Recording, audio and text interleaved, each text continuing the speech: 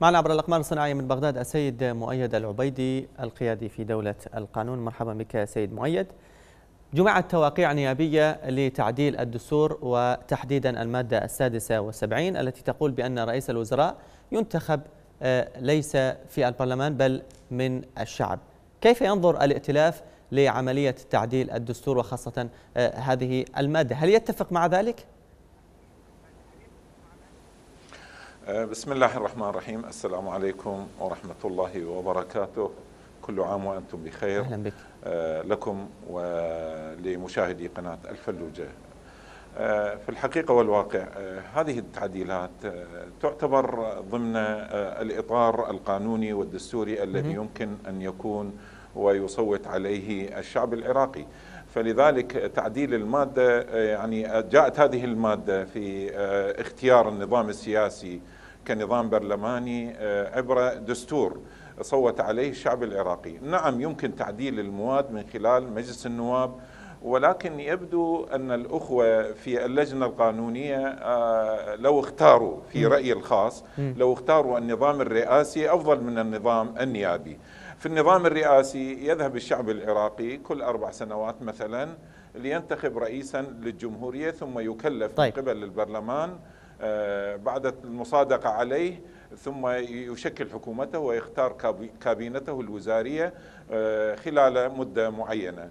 الآن الأخوة أيضا تقريبا بنفس الإطار أن ينتخب رئيس الوزراء مباشرة من الشعب العراقي. هذا هذا الأمر هو حقيقة شبيه بالنظام الرئاسي. آه، هذا الأمر يحتاج إلى خبراء قانونيين خبراء في القانون وفقهاء في القانون يعرض على الفقهاء على مجلس شورى الدولة على آه على آه يعني الخبراء في هذا المجال. طيب أنت رجحت النظام الرئاسي. ويمكن آه، أن تنضج هذه الفكرة. بدل نعم. بدلا من آه أنا تعديل المادة. أرجح النظام الرئاسي بدلا من النظام البرلماني. طيب فلذلك الأخوة لماذا؟ يعني أذكر الأخوة في اللجنة ما هي الأسباب؟ اختاروا هذه يعني سيد مؤيد أنت ترجح النظام السياسي على الرئاسي. على تعديل المادة السادسة والسبعين باختيار رئيس الوزراء من الشعب. لماذا ترجح هذه النظرية؟ في الحقيقة أولا أن النظام الديمقراطي السائد منذ قيام العملية السياسية من 2003 إلى حد الحاضر. آه، يعني الديمقراطية التي هي كانت ديمقراطية ناشئة ديمقراطية لم يستوعبها الشعب العراقي آه، ولد النظام النظام البرلماني النيابي ولد حالة من حالات المحاصصة بحيث أفرزت كتل معينة. لم تؤمن هذه الكتل بالأغلبية السياسية التي نادى بها آه، التي نادت بها دولة القانون.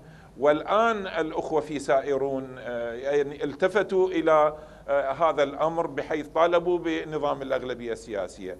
آه، صحيح. نرجع إلى النقطة الأولى أن النظام الرئاسي هو النظام الناجع في الحقيقة آه، كحل كحل آه، طبيعي إلى الشعب العراقي لأنه اعتاد منذ عهود طويلة على أن يكون هنالك نظاما يرأسه رئيسا للجمهورية بعد أن تنضج العملية الديمقراطية وتصبح عملية طبيعية ونؤمن بالأغلبية السياسية م. نحن آه، بالإمكان تعديل الدستور الرئاسي إلى نظام برلماني إذا فشل النظام الرئاسي ولكن في الحقيقة والواقع الكثير من الخبراء والكثير من المطلعين والكثير من الرؤساء م. آه، القريبين منا يؤمنون بأن طيب. النظام الرئاسي هو النظام الأنجح م. بحيث يرحب وهذا هو أيضا نظاما ناجحا في أمريكا وضحت. وفي كثير من الدول. آه، المجاورة الإقليمية والدولية تعتمد النظام الرئاسي طيب. النظام البرلماني السائد الآن في, في, في, في الوضع العراقي نظام لم لم يكن مناسبا لأنه يفرز كتلا وبالتالي هذه الكتل تتصارع فيما بينها على المواقع وبالتالي اعتمدوا المحاصصة السياسية والمحاصصة طيب. سيد ماير وأبعدت الكفاءات وبالتالي آه، يعني أنتجت آه، أنتجت تراجعات كثيرة وأخطاء كبيرة وجسيمه. طيب وضحت هذه الفكرة، عرجت بشكل سريع على قلت بأن الأخوة في كتلة سائرون أصبحوا يتبنون نظام الأغلبية السياسية هل يمكن أن نرى القانون وسائرون يتفقون على هذا النظام؟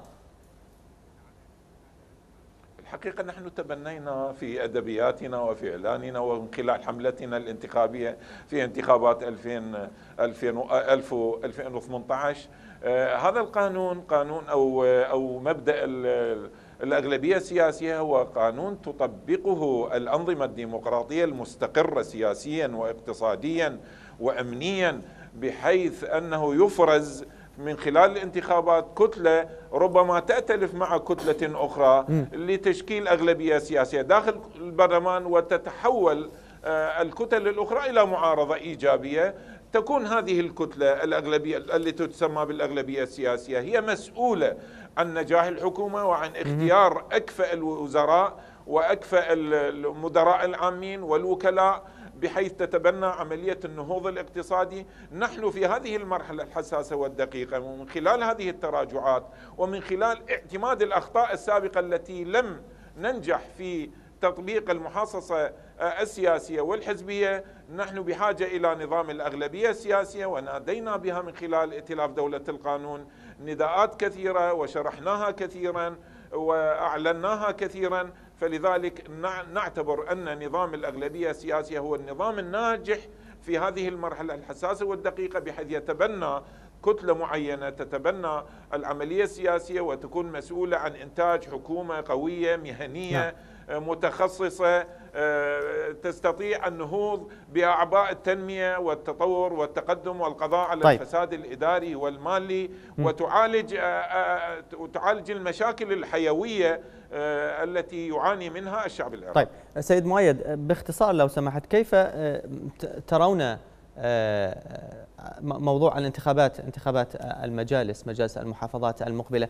هل يحتاج قانون مجالس المحافظات المقبلة إلى تعديل؟ هل يجب أن يمرر كما هو؟ بما أننا نتحدث عن قراءة قانون البرلمان عفوا الانتخابات المحلية في البرلمان. باختصار. في الحقيقة الانتخابات المحلية هي ضرورة معينة وكفلها الدستور ولكن ينبغي آه، حل هذه المشاكل. آه، تعديلات الدستورية وتعديل النظام الانتخابي للمجالس المحلية ينبغي أن يصب في تجاوز الأخطاء السابقة التي تفرز حالة من حالات الاستقلالية. نحن بحاجة إلى نظام مركزي ولا مركزي. يعني بحيث أن بعض بعض المحافظات تنفرد وتتمرد ربما على الحكومة الاتحادية. نحن بحاجة إلى تعديلات قانونية بحيث تس تستمزج رأي الحكومة الاتحادية ويكون هنالك حالة تكاملية بين الحكومة الاتحادية والحكومات المحلية حتى يمكن أن أن أن تكون هنالك حالة من حالات التنسيق وتكون الإدارة والسياقات تكون سياقات طبيعية وفق القانون الذي يفرز حكومات محلية ناضجة وفق مبدأ الكفاءة وفق مبدأ التخصص وفق مبدأ النزاهة التي نحن ما أحوجنا إليها في هذه المرحلة لأن الحكومات المحلية هي مسؤولة ذات مسؤولية مباشرة عن خدمة المواطن. نحن بحاجة إلى حكومات محلية, محلية ذات خدمة ذات خدمة وذات تخصص وخبرة حتى يمكن تجاوز كل أخطاء المرحلة السابقة ويمكن آه، أن نقدم للمواطن ما يلامس همومه وما يعانيه من بطالة وما يعانيه من كثير من المشاكل التي اعترته في هذه المرحلة التي نتجاوز بها أخطاء المرحلة السابقة. السيد مؤيد العبيدي القيادي في دولة القانون كنت معنا عبر الأقمار الصناعية من بغداد.